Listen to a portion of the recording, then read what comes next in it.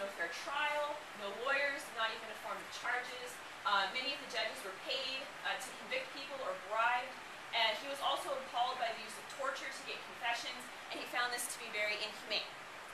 So, uh, one of the reasons I wanted to talk about this today is because, unfortunately, witch hunts are not uncommon in our time period as well. So these are all children from Nigeria. Um, Nigeria has some of the best documented cases of witchcraft hunts right now. So uh, most of my information is going to come from there. It is widespread around the world, but this is where the facts came from. Um, so this young lady here was burned by acid. These children are all homeless. And uh, this young man was attacked by his uncle with a machete. Um, so they have all been accused of witchcraft. And uh, it is estimated that nearly 15,000 children have been accused of witchcraft since 2000 in Nigeria. Nearly 1,000 have been killed. Uh, the UN estimates that throughout Africa, tens of thousands of children have been affected by this.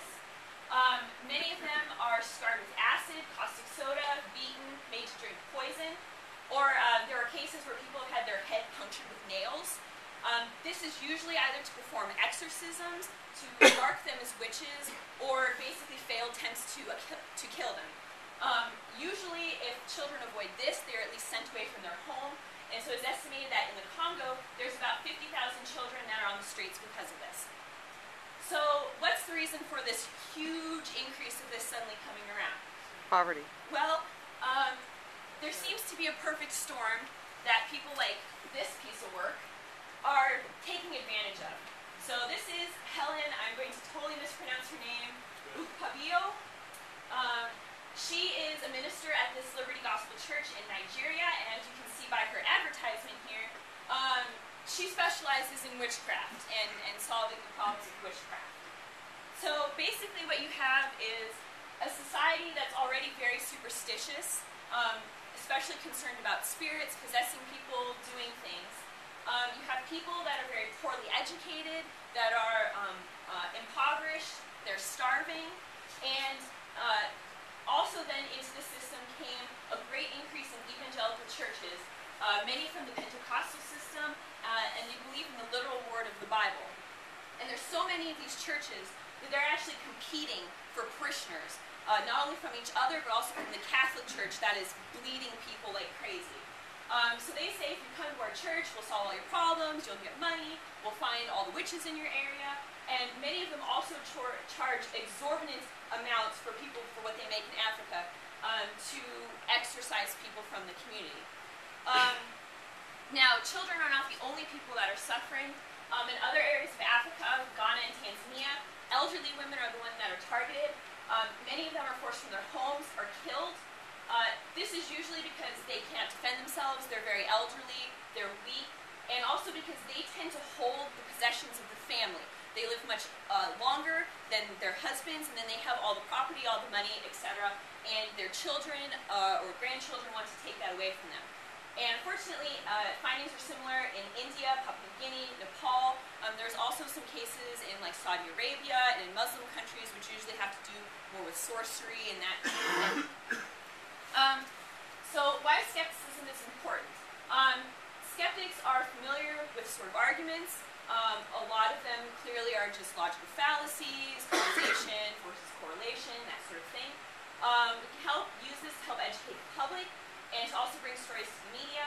Uh, an example, in 2008, uh, BBC ran this uh, excellent documentary, which I recommend watching if you are interested in this, um, called Dispatches Saving Africa's Witch Children. Um, and this helped lead to the arrest of uh, this bishop called Sunday, uh, who was featured in the documentary, who had been a, who had stated that he had like killed hundreds of children, um, like through his exorcisms.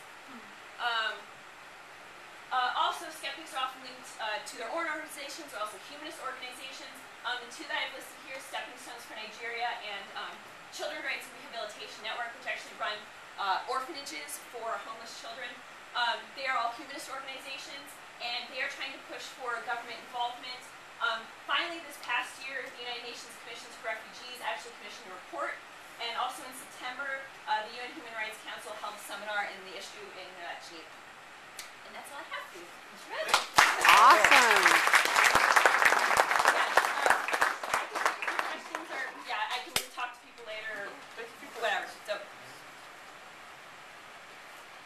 Yes. The one the, the woman that you featured, uh, whatever her name is, I, think DJ may know, but she, one of these pastors over there was sued CFI.